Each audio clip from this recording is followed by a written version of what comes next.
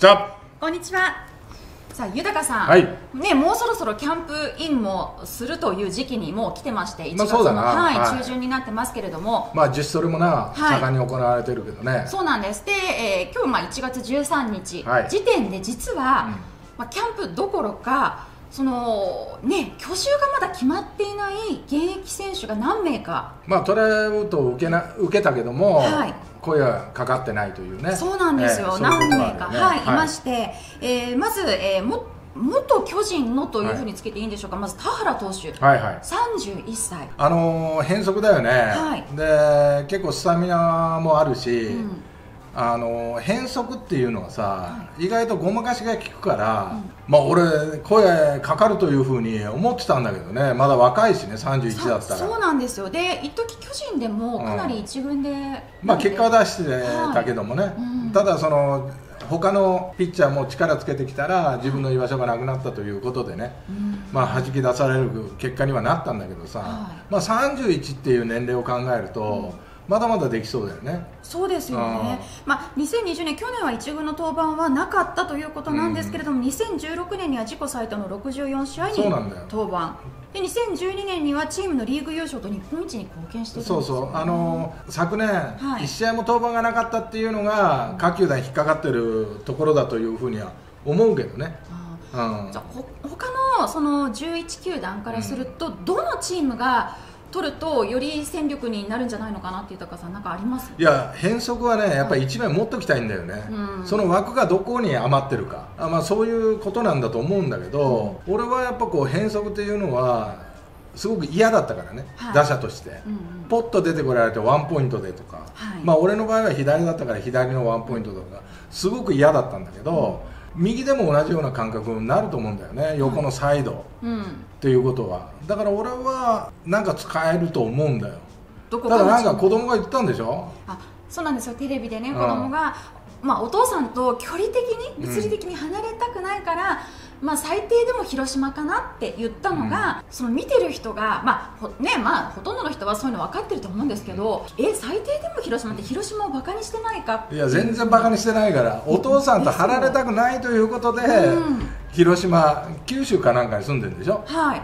だから離れたくないから会いに行けるじゃないね広島だったら新幹線ポンと乗りゃ。でも東京とかさ札幌になってくるとそれはまあ簡単にはいかないよね。そうですよね。応援にも、うんいやだからそういう意味で言ったんだけどさなんかそれがなんかすごく大きくなっちゃって。で SNS で、まあうん。お大人たちとかが広島をバカにしてるとかいやバカには全然してないよね。ねかわいいやかわいそうというかあのうん。斉藤和美さんもねそうだな。もあの擁護してましたけれども、うん。やめようってもそういうのは。だから SNS でそういう子供を叩くなんていうのはね、やめようよ、それは絶対、シーンは子供だから伝えきれてない部分はあったにしても、はいシーンは全然バカにしてるとか、そういうことはないからね、そうですよね、うん。いやでもお子さんにとっても早くお父さんのね巨人が決まるとねうん。なってなりますけれども、ね。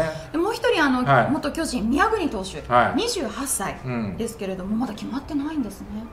ちょっと変則にすればいいかなって思うけどね、あ宮国投手ん。自身がってことですか、そうそうそうそうそうそう。うん。あのーまだまだ使いべりしてないはい。ピッチャーだし、うんこれ、ひとひねりするとね、はい。使えそうな感じはするんだよね、うん。ただ、このコロナの状況で、各球団がそこの余裕を持てるかどうかなんだよね。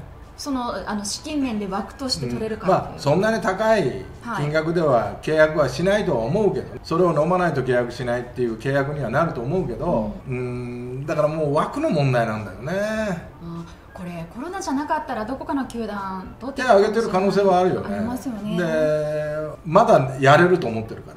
ああの今年齢的にも。ああ年齢的にはってこと28だっけ、はい。あまだまだこれからこれから油が乗ってくるっていうようなそうです状況だから。で昨シーズンも1軍では投げていて21試合で25回と3分の1投げて、うん。まあ、防御率が5.33、でうん。プロ10年目ということなんですけど、まあ、トライアウトにも出てます。昨年まで投げれてる人がはい28歳でん。急には落ちないから。ただ打たれ方が悪かったね去年もね。あそういうイメージが。イメージがあるんだよ、ううん。ただ俺は使えると思う。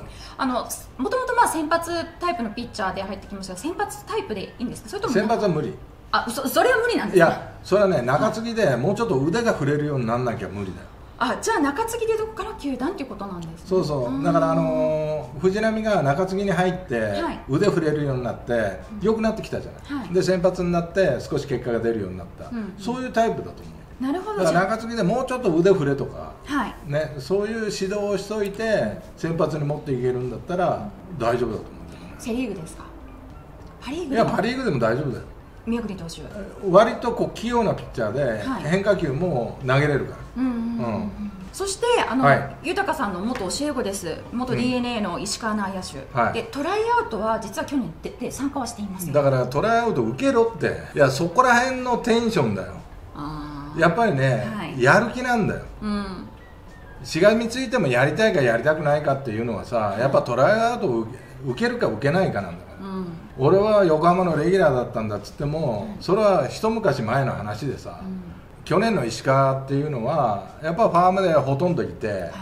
出てないだ出てないわけだから上では。はい。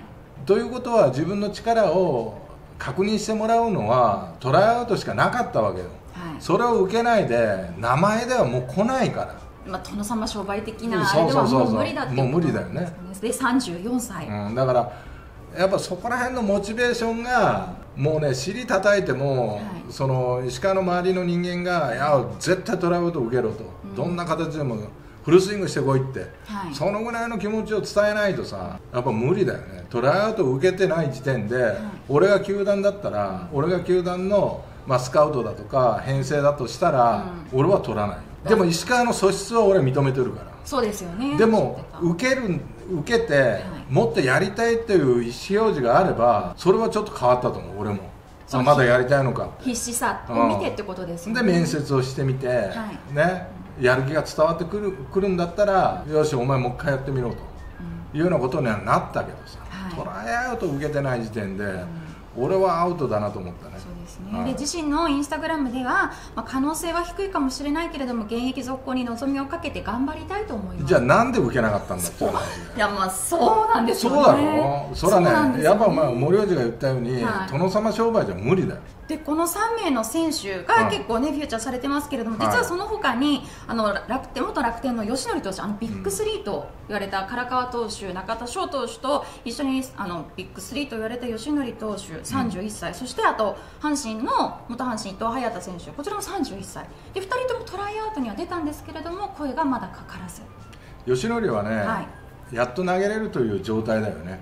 怪我でありましたもんね。で。でねやっぱあれほど素質があって怪我を繰り返した人、まあ、素質を見る限りではやっぱああもったいないな欲しいなと思うよ。うん。ただやっぱりねあれだけ怪我の実績があるとさ、はい、やっぱその素質が隠れてしまうよね。その怪我のイメージの方が大きくなっていってしだからやっぱり吉野を取るには勇気がいる、賭けですか、うんチームにとってそれとね、はい。ホームラン打たれたんだよね外国人にはい。楽天同僚だったかな？楽天の外国人だったかな？ライトにホームラン打たれたんだけど、はい。その時ヘラヘラしてるんだよ。その表情を見るとやっぱ取りづらい、うん。その悔しさとうか、んマウンド蹴るぐらいじゃないとさ。う、ん。ね、だから、まあ、怪我とそういうねやっぱスターで育ってきてるからなんか照れ笑いというかさ、うん。そういうのがついちゃったのかもわかんないけど、はい。うんちょっと取りづらいかなちょっと可能性的には、うん。そのじゃ日本だけじゃなくてその海外も含めても視野に入れた方がいいのかなっていうところなんですか？あとは独立リーグだったりとか。まあ、やりたいんであればはいまだ31でしょ、そうです。1年間で、まああの西内が、はい。あのうん。独立リーグから帰ってきたじゃない、はいまあ、それを狙うかどうかだよね、うん。うん。だから西内なんかはもう独立リーグで抜群の成績でヤクルトに拾われたから、そうですよね。だからまあその可能性は残されてるけどね。はい、で自身のインスタグラムでは燃え尽きるまで挑戦しますと。あーもうそれはねあやめるのはいつだってやめれるから、はい。まだ自分に自信があるんであれば、はい。俺は続けるべきだと思う。よね。そうですね、うん。で最後にあの元阪神の伊藤隼太選手ちょっと迷走してるかなって賛否両論が今、うん。SNS で出ていてえなんでも今月開設した自身のもう YouTube チャンネルをまず始めたと。うん。で、えー現役続行を目指してトレーニングを続けていくと、うん。でなんか一日限定で久保田由伸さんの髪型にもしたとか。うん。結構賛否両論賛否両論というかもうアウトだよね。すみません。もうアウトですか？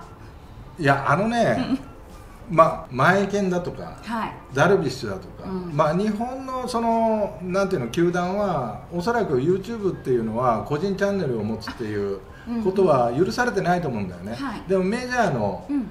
人たちがダルビッシュだとかマイケンだとか持ってるのね。はい。でそれは俺は別に構わないと思うんだよ、うん。結果が出てるし、はい。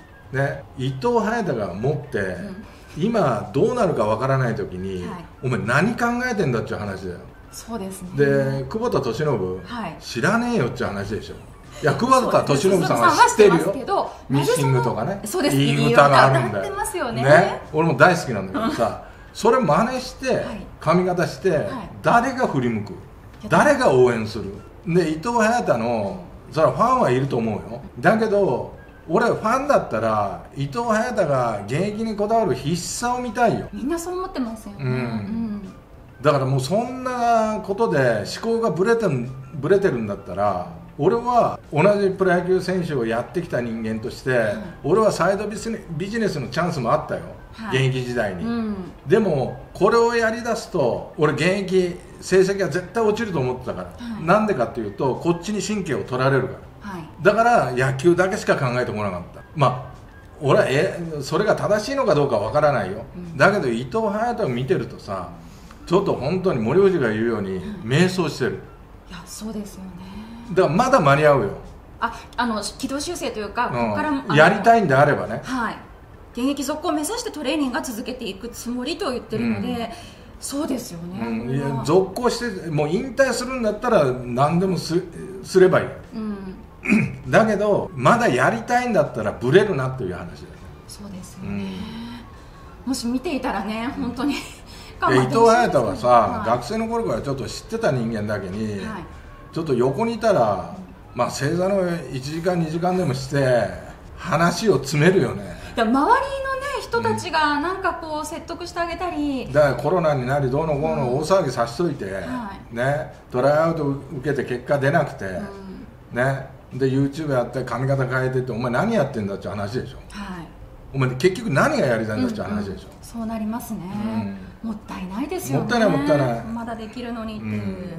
だからまあ今挙げた選手たちは、はい。俺はできると思うし、はい。必死になったら道っていうのはいくらでもあると思うんだよ、うん。まあ、例えば吉典が独立リーグ行って確固たる成績を上げて、ね、また戻ってくるとかさ、ね、宮國だって諦める年じゃないし、はい。田原だって変則だし、自分の持ち味出せばできると思うし、ただ伊藤隼太だけは 思考を考えないと無理っていうことだよね。もうそこですよね、うん。トレーニング以前の問題になっちゃいますね。で石川は、はい。やっぱトライアウトを受けてないっていうことがもう一つのネックになってるね。